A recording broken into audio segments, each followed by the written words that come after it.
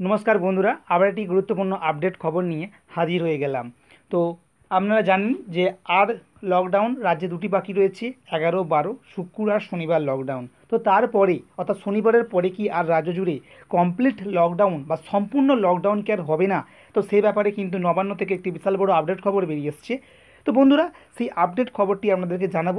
তাই সঙ্গে থাকুন এবং দেখতে থাকুন। ভিডিওটিকে অবশ্যই লাইক করবেন এবং শেয়ার করবেন। তো শনিবারের পর কি সম্পূর্ণ লকডাউন হবে না রাজ্যে? এই প্রশ্নটা আমার মতো সবার কাছে কিন্তু ঘুরে বেড়াচ্ছে।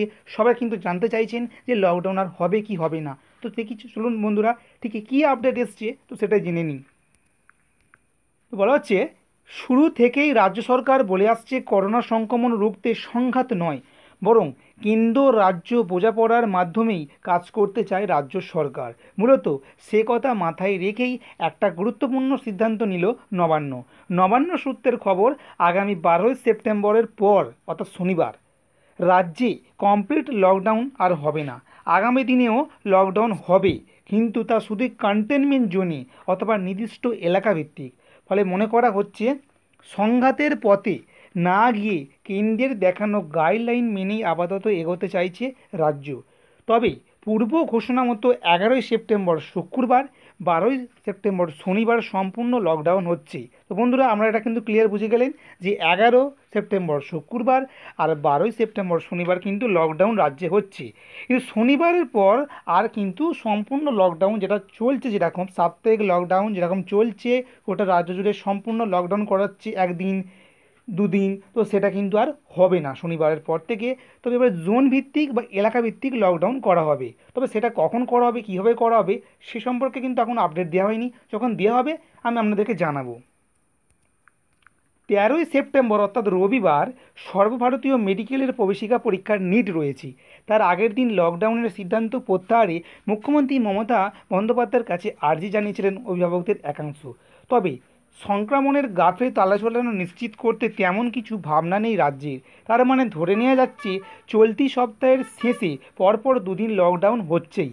তারপর কোভিড সংক্রমণের শৃঙ্খল ভাঙার এই মোক্ষম অস্ত্র আর ব্যবহার নাও করতে পারে রাজ্য।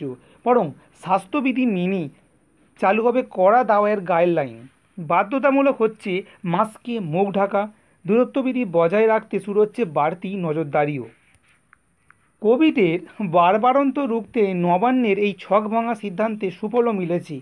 কমেছে সংক্রমণ, কমেছে কন্টেনমেন্ট জোন কলকাতা সহ জেলাগুলির পরিস্থিতি কমেই ভালো হচ্ছে। তাহলে কেন মাঝপথে সম্পূর্ণ লকডাউনের সিদ্ধান্ত থেকে সরে আসার ভাবনা? তো নবান্ন সূত্রে জানা গিয়েছে, শুরুতে কেন্দ্র রাজ্যের বোঝাপড়ার মাধ্যমে করোনা মোকাবিলার কথা বলা হয়েছিল। কেন্দ্র কথা না রাখলেও রাজ্য তার প্রতিশ্রুতি ভাঙতে চাইছে না। এক্ষেত্রে কেন্দ্রীয় সরকারকে সাহায্য করতে চায় রাজ্য। তবে এটাই একমাত্র কারণ নয় বলে জানা যাচ্ছে। বিগত সময় টানা লকডাউনে রাজ্যের অর্থনৈতিক অবস্থা খুবই খারাপ। এমন অবস্থা শুধু যে পশ্চিমবঙ্গে তা নয়, কম বেশি একই অবস্থা অন্যান্য রাজ্যগুলিরই। তো এই অবস্থায় অন্তত কাজের দিনে সম্পূর্ণ লকডাউন করা হলে অর্থনৈতিক ক্ষতির পরিমাণ আরও বাড়তে পারে বলে আশঙ্কা করা হচ্ছে।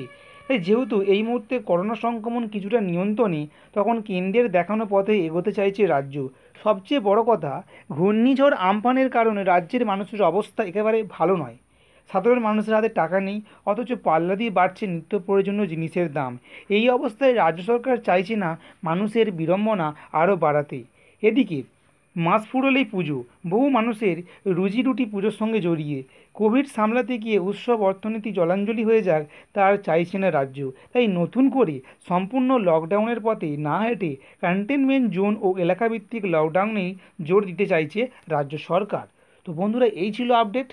এই ব্যাপারে আপনার কী মন্তব্য? কমেন্ট বক্সে কমেন্ট করতে ভুলবেন না। ধন্যবাদ।